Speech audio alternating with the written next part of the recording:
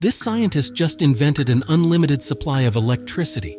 Earlier, when he was buttering his toast, it fell down, and he noticed something. He then butters the bread again and lets it fall from a very close distance, and still the buttered side falls on the table.